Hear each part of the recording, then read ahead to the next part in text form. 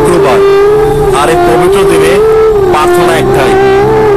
যাদের বাবা মা দুনিয়াতে কিংবা আখেরাতে আছে তারা যেন সব সময় ভালো থাকেন।